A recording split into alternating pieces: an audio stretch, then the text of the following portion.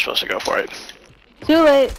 I already made the decision prior to you saying it. I'm Uh, oh, killed yeah. Again.